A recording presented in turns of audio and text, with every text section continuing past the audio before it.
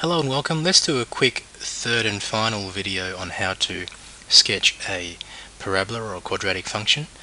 And the function that I have here is x squared plus 6x plus 10. And I'm going to make things a little bit clearer by labeling our coefficients. So I'll label the x squared coefficient a, our x coefficient b, and our free term c.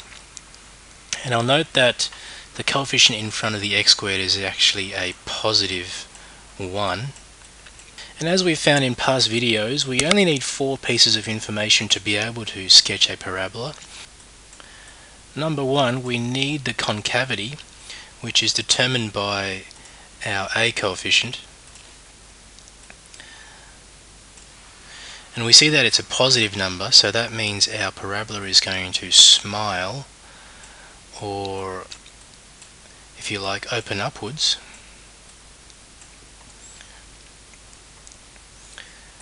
Second bit of information we're looking for is the y-intercept.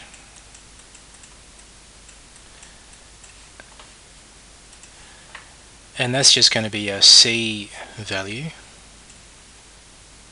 or more formally when y is equal to 0. That's positive 10. So let's mark that on our chart.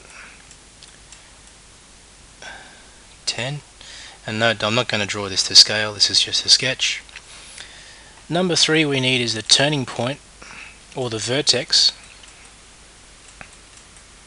and that's given by the formula the x coordinate is negative b divided by 2a and the y coordinate is b squared minus 4ac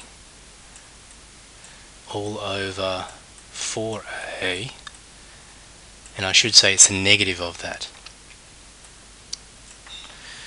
Alright, so substituting our numbers in, negative 6 divided by 2 times 1 for x, and negative of 6 squared, which is 36, minus 4 times 1 times 10, which is 40, sorry 10 not 0 divided by 4 times 1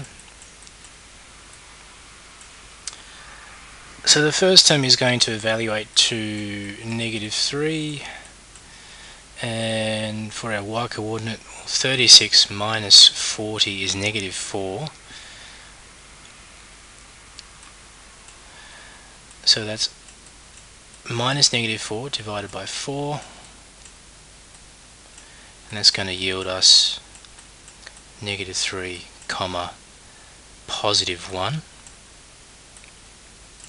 so the x coordinate of our turning point is negative 3 and the y coordinate is positive 1 so our turning point is located here. And the fourth and final part is to find the x-intercepts. Well I know straight away from looking at this we're not actually going to get any x-intercepts at all. Well first of all visually the y-coordinate of our turning point is positive 1 and the y-intercept is at positive 10 and we know that the parabola opens upwards. So if we are going to get any x-intercepts it looks like we have done something very wrong.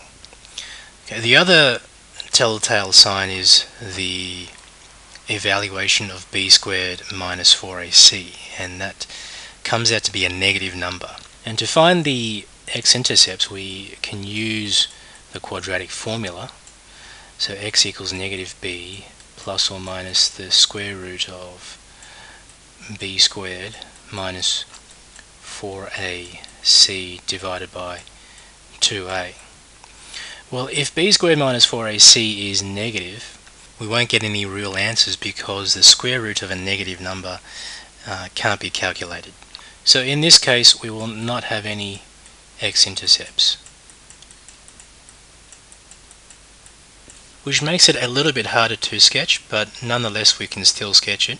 Uh, we keep using our artistic skills to try and draw a smooth line across the y-axis and try and make our parabola as symmetrical as possible. Well, that's not very good, but possibly the best I can do with a mouse on a uh, primitive program. So I hope this quick video tutorial has helped you. If you are a math student, please feel free to subscribe for future videos that may help you on assignments or exams.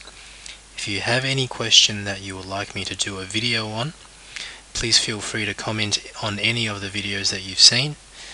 Thanks for watching and I hope you learned something.